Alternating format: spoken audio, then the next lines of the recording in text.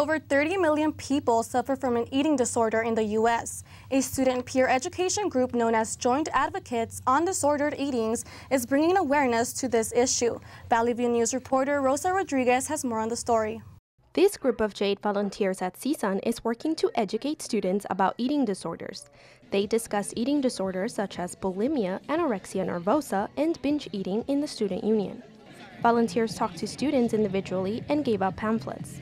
Many students suffered from eating disorders themselves or know someone who had. I suffered from purging disorders, and it was like a constant battle that I had for many years. And going through that, um, not only did it help me want to help out other people, I actually became a psychology major, and I'm majoring to specialize in helping people who suffer from eating disorders, anorexia nervosa, bulimia, binge, purge, all of that. Jade creates awareness of eating disorders through outreach workshops and art displays such as these. This Eating Disorder Awareness Museum shed light on the different types of eating disorders as well as facts, myths, and statistics. Eating disorders is something that people don't really consider a disorder. They don't consider it to be that serious. So I feel like this is a good opportunity to spread proper awareness and help other people, especially the students here.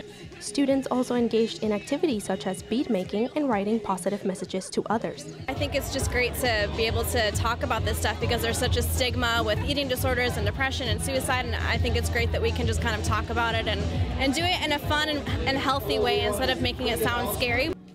About 60% of students know someone who has or had an eating disorder, according to recent studies. Eating disorders is an issue. It's affecting over 3,500 students approximately on this campus, and I'd love for students to be able to receive services to be treated um, for whatever thing that they're experiencing around body image. JADE is just one of three programs on campus that offers help and support for students who are experiencing eating disorders and related issues such as depression and suicidal thoughts. From Cal State Northridge, this is Rosa Rodriguez for Valley View News.